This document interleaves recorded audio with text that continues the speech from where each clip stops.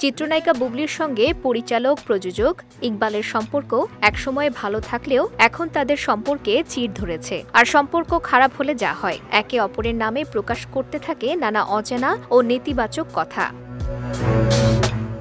উনত্রিশ জুন সকালে প্রকাশিত এক সংবাদে বুবলি এড়িয়ে চলতে চেয়েছেন ইকবালকে। বিকেলে ইকবাল জানিয়েছেন, তিনি একবার বুবলিকে সেট থেকে বের করে দিয়েছিলেন।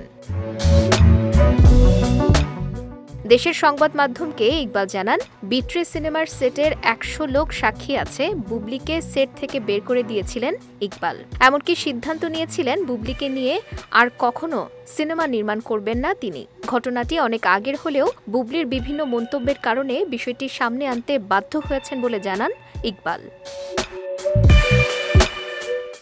বুবলিকে কেন বের করে দেয়া হয়েছিল জানতে চাইলে এই নির্মাতা বলেন, এটা বলার সময় এখনও হয়নি। যদি পরবর্তীতে বুবলি কিছু বলে, তখন আমিও সব খুলে বলব। তিনি আরও জানান, এরপর কোনো সিনেমা বানালে নতুন মুখ নিয়েই কাজ করব। এর আগে চিত্রনায়িকা বুবলিকে দুটি সিনেমা থেকে বাদ দেওয়া হয়েছে বলে সংবাদ প্রকাশ হয়। এর একটি এম এমডি ইকবালের বিট্রে, অন্যটি জসিমউদ্দিন জাকিরের Maya the love two.